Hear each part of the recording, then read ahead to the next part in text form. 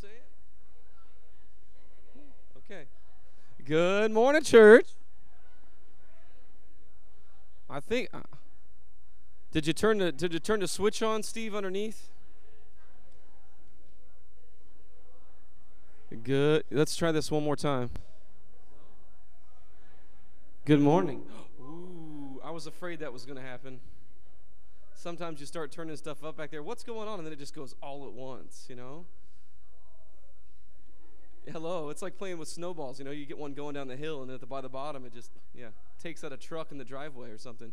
Um, it's great to see you guys. My name's Stephen. If we haven't met yet, I hope to meet you soon. And I'm delighted to welcome you to this service of St. Paul's. We're just glad that you're here. Uh, we hope that this morning you're, you're ready to gather for worship because that's what we're here to do. Please take a moment let us know you're here. Um, there's little slips like right in front of you. If you look in the chairs right in front of you, uh, you can find one of those, fill those out. Pa- uh, when the offering plates get passed, like forever from now, it's way down the road. If you remember to just throw those in there, we would really appreciate that. Um, we hope that you're in a, in a prayerful mindset. I want to let you know Ramona once again is on the piano today. No organ. We're hoping next week, right? Maybe, maybe. You see, the organ's not just something you can like. You, you can't really walk on those organ keys. You know, under there, you have to support your weight and, and push yourself on those keys because they're real gentle. And so, after her surgery, she still can't quite do that. So, I, I can maybe pick her up and throw you into there. You know. We'll see. But so we'll be all piano this morning, but we are blessed and delighted that, to welcome you to this service, and we hope that you'll just enter into his spirit this morning as we gather in his house.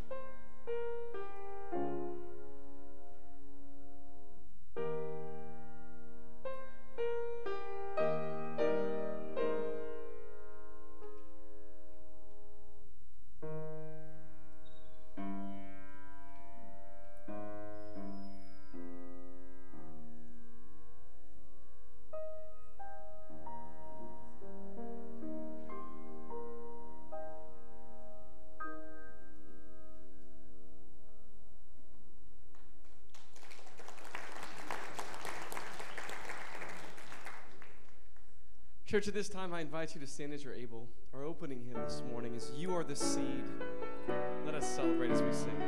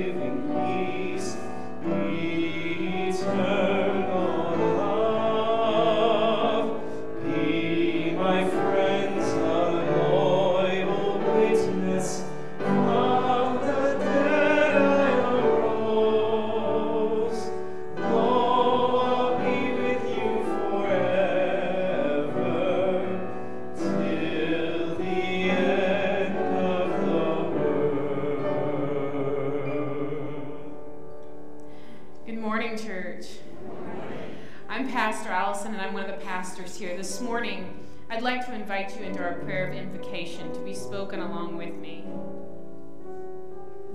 God of faithful elders and lowly followers, our sure defense and faithful guide, we invoke your presence among us in this time of praise.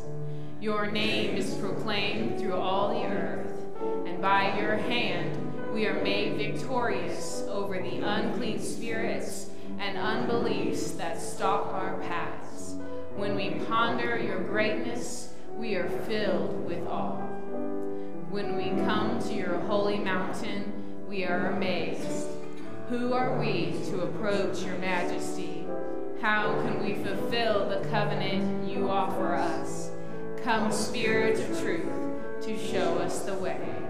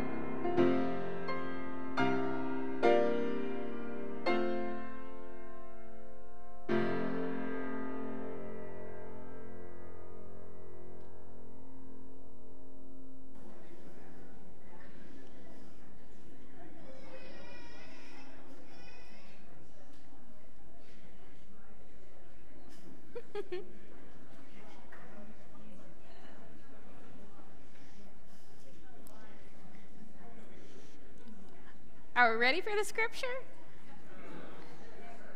All right. We have two today. I know that's exciting, right? This one comes out of Mark 6, verses 7 through 13. Jesus called the twelve to him and sent them out in pairs. He gave them authority and power to deal with evil opposition. He sent them off with these instructions Don't think you need a lot of extra equipment for this. You are the equipment. No special appeals for funds. Keep it simple. And no luxury ends. Get a modest place and be content there until you leave. If you're not welcomed, not listened to, quietly withdraw. Don't make a scene, shrug your shoulders, and be on your way. Then they were on the road. They preached with joyful urgency that life can be radically different. Right and left, they sent the demons packing. They brought wellness to the sick, anointing their bodies and healing their spirits. Our second scripture today comes out of Isaiah 49, verses 1 through 6. Listen to me, coastlands. Pay attention, peoples far away. The Lord called me before my birth, called my name when I was in my mother's womb. He made my mouth like a sharp sword and hid me in the shadows of God's own hand. He made me a sharpened arrow and concealed me in God's quiver, saying to me, You are my servant, Israel, in whom I show my glory. But I said, I have wearied myself in vain. I have used up my strength for nothing. Nevertheless, the Lord will grant me justice. My reward is with my God. And now the Lord has decided, the one who formed me from the womb as his servant, to restore Jacob to God, so that Israel might return to him. Moreover, I'm honored in the Lord's eyes. My God has become my strength. He said, It is not enough, since you are my servant to raise up the tribes of Jacob and to bring back the survivors of Israel. Hence, I will also appoint you as a light to the nations, so that my salvation may reach to the end of the earth. In our Mark scripture, we may notice that they're sent out two by two. This happens a lot. We still see it today. But it's probably got roots in Deuteronomy, whenever something happened, they would call for two witnesses, or even three was better. Because there's something to be said for that level of trust when there's just one individual as opposed to more than one. How much can you trust someone who comes to you and tells you a story? Unless there's somebody there to back it up. In a different version of this, instead of saying you have all you need, it says, don't carry bread or a bag or money. It actually tells them to leave things behind. And what this does is it's trying to indicate what their status is. They'd be considered itinerant preachers because there were other people that were out on holy missions at this time and they were traveling around and they would at least take bread and a begging bag with them. They had something to their name to ensure that they would be sustained. And Jesus is telling them, don't even take that. Because, see, at this time, it was a good thing to invite people into your home. Hospitality was seen as wonderful, especially to those on holy missions. Somebody like that shows up at your door and you're like going, Yes, come in. Can you imagine doing that now? Come stay with me, complete stranger. It doesn't even make sense to us. So the refusal to even hear their message if somebody's come up to them was a bigger deal. And it would require some sort of shoulder shrug or dusting your feet off, or what do we say now? You dust it off? Am I, I'm too old to say that now, I think. But it's that visual reminder, that action of letting go. It's a little more than just walking away. There's a symbolic act. So Jesus is reminding them that you don't need anything. You don't need what these other people are taking with them. Hospitality is going to be enough. And if it's not, that's okay. Just shrug your shoulders and try again. In this, I came across a parable. It's called the parable of the ducks.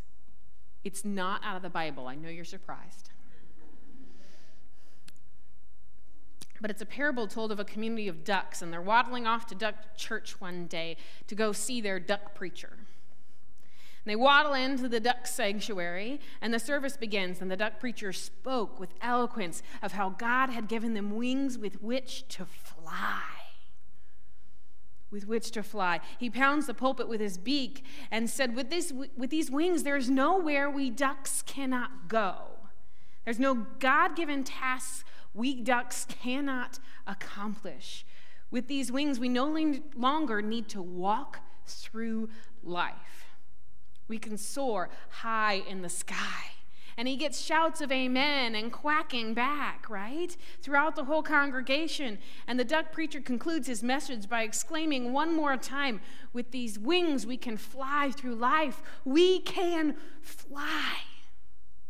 And all the ducks quacked and shouted amen in response, and they all loved the service. And every duck that was present commented on how wonderfully convicting the message was from their duck preacher. And then they waddled all the way home. Why didn't they fly? Why didn't they fly? Is it because they weren't really convinced and they were trying to fit in? Is it because he never actually taught them how to fly, just told them that they could? It'll be great. Let's give it a shot. Did they not fly because they were afraid to take the leap? How do most birds learn how to fly? They get kicked out of the nest, they fall. That sounds awful. The final act for Jesus is similar to our scripture today, where he sends his disciples out to do the work on their own. And then they do this crazy thing where they go. They'd spent time following in his footsteps and building a community together. It was so much more than a simple message. And they had to take what they had learned and to spread it across the world. We are the spiritual descendants of the 12 disciples, chosen by Jesus for a purpose.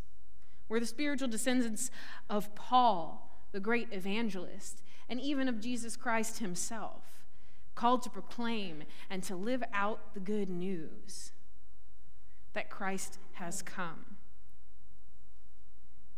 When in your life have you ever felt that familiar nudge from God to do something new, to do something different? Maybe there's that nudge on your life in this moment. If we're the heirs to the disciples, then we're receiving these same instructions. And we're meant to be sharing God's words and actions and his name together alongside of one another. How can we emulate this? In reading this week, I came across this article of why churches don't grow. And there was I'm going to say nothing surprising. I found it more interesting is that it's not for a lack of desire to reach more people. You can walk into any church and they all say, We'd love to have new, right? They are all ready for that mission. It's not for a lack of prayer. Every church prays together. It's one of the easiest things we do. It's so natural to talk to God. It's not for a lack of love. Every community that is set together loves on each other. It is a natural way that we live together. The one I found interesting was it's not for a lack of facility. Growth can happen anywhere. There are churches across the globe that have more and that have way less. And none of it actually plays a factor in whether or not they're reaching new disciples. And then it goes on to give us this, this list of these wonderful ways to reach out. And I'm very happy to report that I don't think we missed any, because I was a little worried. but I think I came across one that was, I'm going to say, my favorite.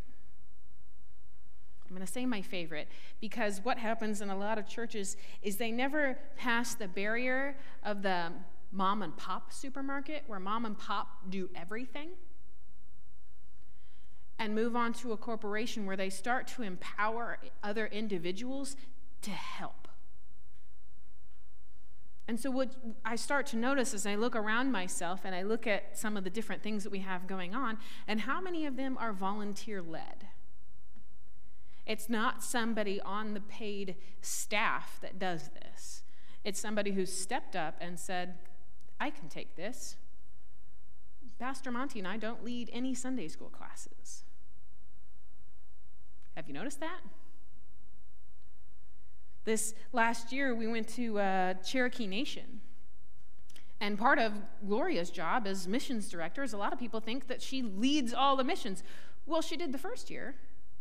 And this past year, she empowered somebody else to take the reins, which is fantastic and wonderful because it gives us this opportunity to sit alongside and say, here's how we, here's how we do it. Now put your emphasis on. What does it look like? So, how do we work together as a church and its volunteers to answer these individual calls? To answer these individual calls because we are like the disciples, we're all equipped with different knowledge. I could say none of us have had the same experience, but when we talk about experience leading our lives, I don't mean just my individual experience is the best experience, because that's not true. I learned something from each individual experience in this room. I'm intended to learn from those around me because everyone can present this, this perception of faith that they have of how they have seen Christ move in the world and every story is unique.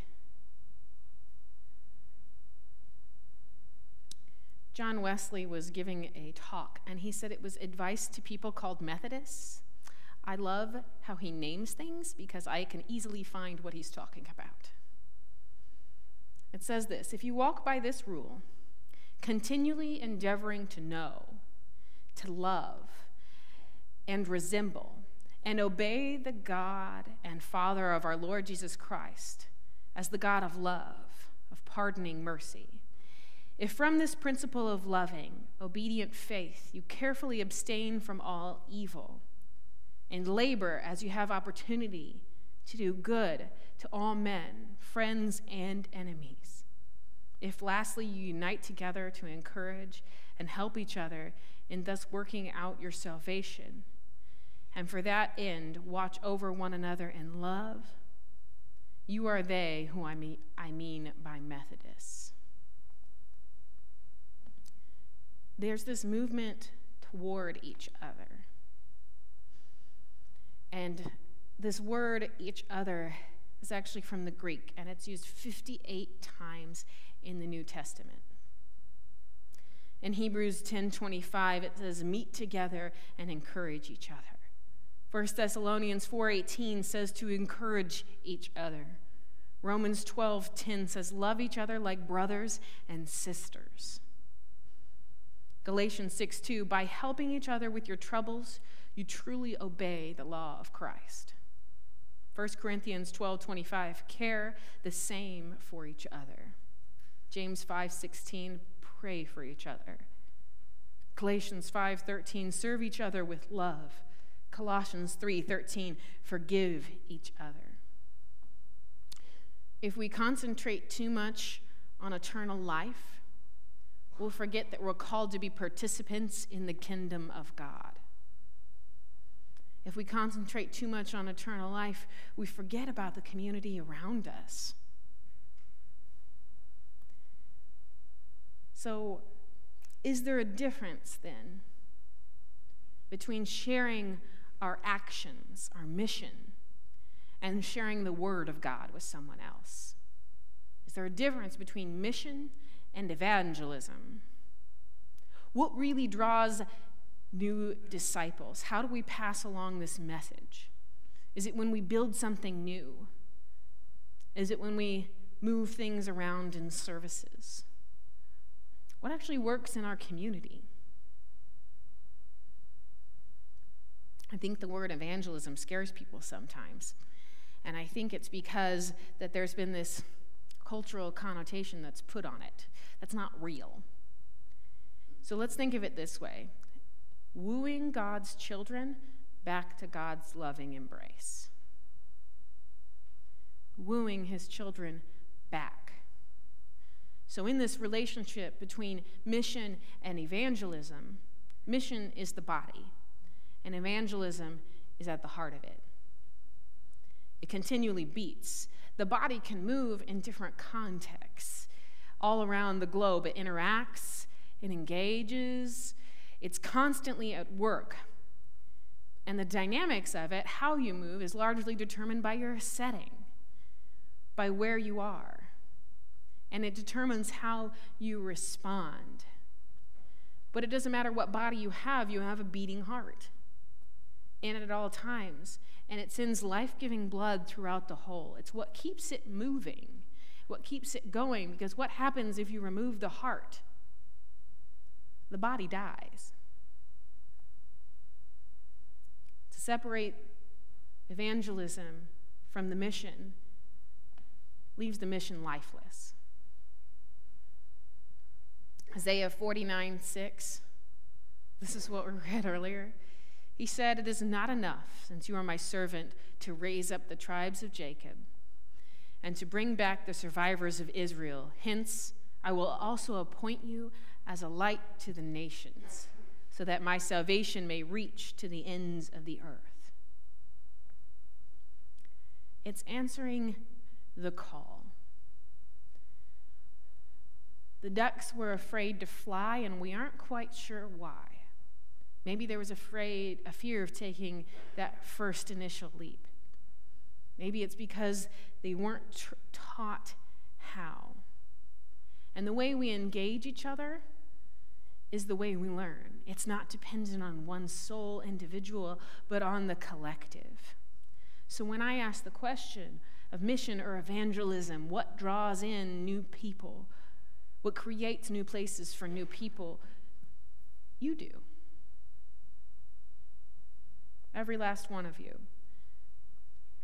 Because when we separate our mission from our evangelism, there's no connection between Christ and the cultural context in which we live. No connection between Christ and our community in which the word is proclaimed, in which the good news is shared. So, my question is how can we empower you?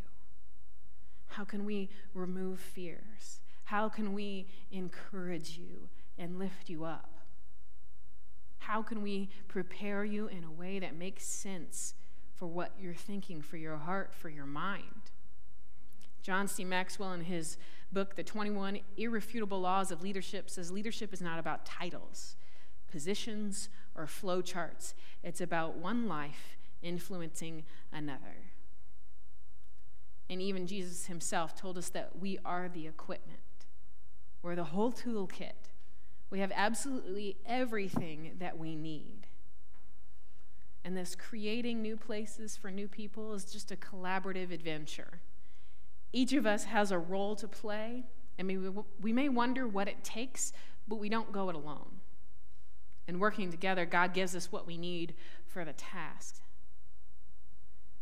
And in Acts 13:47, we hear an echo of Isaiah. For the Lord has commanded us, saying, I have set you out to be a light for the Gentiles, so you may bring salvation to the ends of the earth. And so today I'd like to bring you back to our doors that are behind me. We're starting up life groups, and in them, there's no defining feature of what makes one group different than another. But also in them, you'll notice that we have sent people in pairs to work together. There'll be a host for each group and a leader for each group to share the burden. Our hosts take a moment to open their homes and invite people in. Our leaders take a moment to look at what they're going to ask that week and be prepared before everybody else to answer questions like, What were your successes this week? And to set the example of how to answer, to lead the conversation through Scripture. How do we talk about this? How do we unpack this? How can you take a moment to answer questions back? And so you're going to notice that Pastor Monty and I are both going to lead a group, but that's still three more doors. That's still five different hosts because I now have a rug at my front door that says there's like a lot of children in here. My mom sent it to me. Love that woman.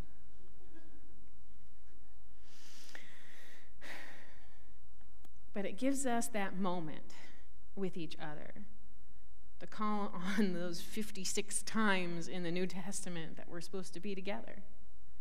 And how wonderful is that? Will you please pray with me? Gracious Heavenly Father, we thank you for the ability to learn together in community because we know that when we learn together, we grow together. We lose that fear of flying. Our hearts beat with a need to share your name, and our bodies move in kind. And we take it out to our community of Raymore. And we take it out as far as we can travel into the places where we dare not speak your name. And so we pray as our Father taught us to pray Our Father, who art in heaven, hallowed be thy name. Thy kingdom come, thy will be done, on earth as it is in heaven. Give us this day our daily bread, and forgive us our trespasses, as we forgive those who trespass against us. And lead us not into temptation, but deliver us from evil. For thine is the kingdom, and the power, and the glory forever. Amen. Will you please join me in voice today as we bless our tithes and our offerings? Mighty ruler, teacher of all who are willing to grow, let us hear enough of your word to be astounded. Let us see as many of your deeds as will make us eager to join in outreach to people in need. Grant us enough of Christ's vision and compassion that our weakness may be useful to you in proclaiming your word, sharing your grace, and casting out demons. Amen.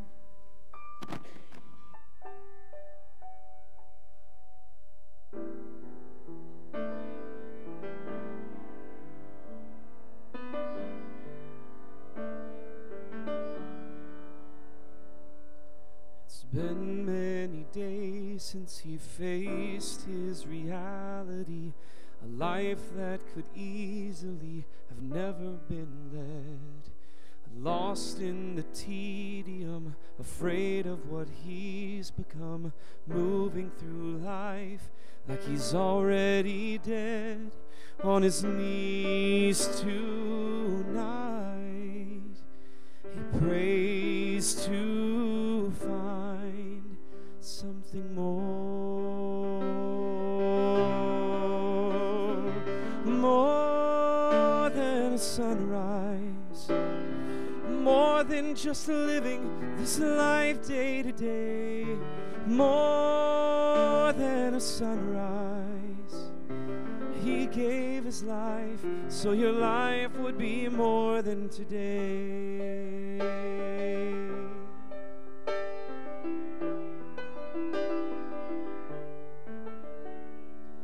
Tries to please everyone, a list of things to be done. Faith takes a back seat, and so do her dreams. The kids and the mortgage, work every morning. She has lost sight of what life truly means through the tears tonight. She prays to find something more,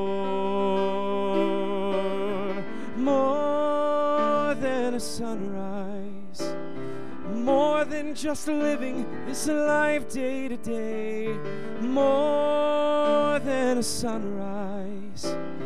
He gave his life so your life would be more, more than a sunrise more than just living this life day to day, more than a sunrise.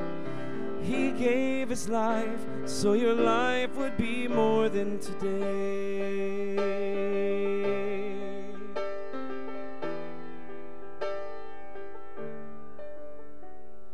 My sin and my shame they've been washed away. Died to save a sinner like me. My sin and my shame, they've been washed away. He died to save a sinner like me. My sin and my shame, they've been washed away. He died to save a sinner like me. Your grace so amazing, you give my life meaning. Jesus, in you I'm alive.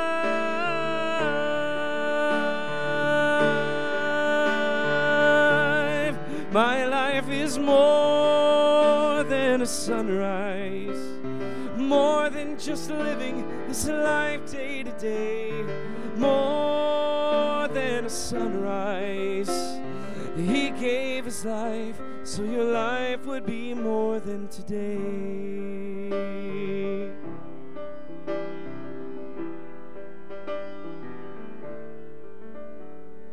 He gave his life.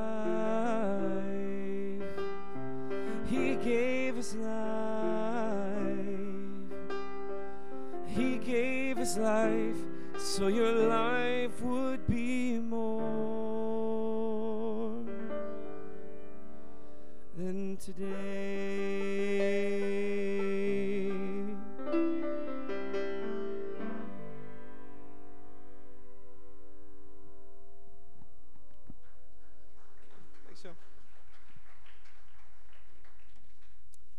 Would you stand for our doxology?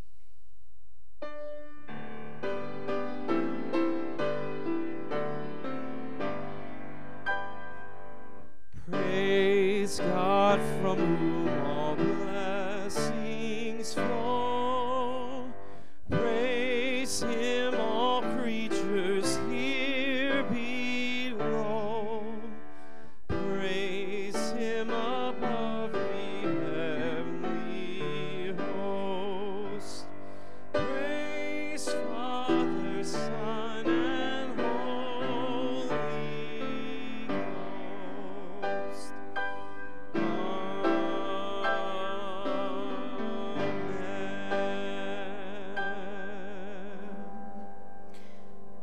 you'll please remain standing for our closing hymn.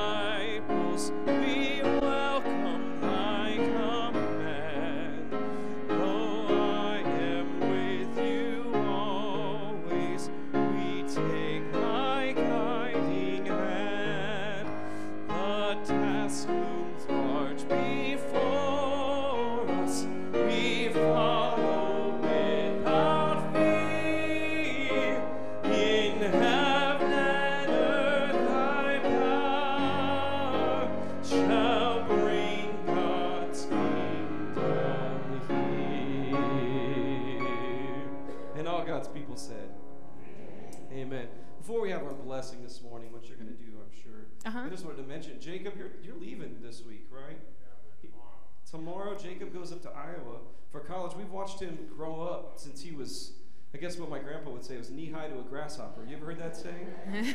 but Jacob's grown up in this church and he's turned into a fine young man, so we want to wish him well. So keep him in your prayers and pray for Brad and Linda, his folks, too, because that's a big transition. Are you guys, is it empty nester now, right? Is that right? Yeah, it is. Yeah, all right, okay. All right. It'll be quiet for a while, I guess. So we wish you well, Jacob. Safe travels. Well, in light of that, you are the equipment. Go in peace to love and serve the Lord.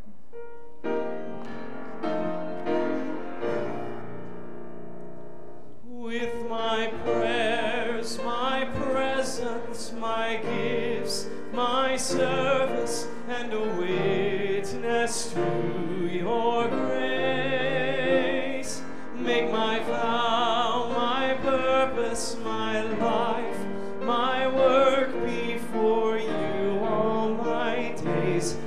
I see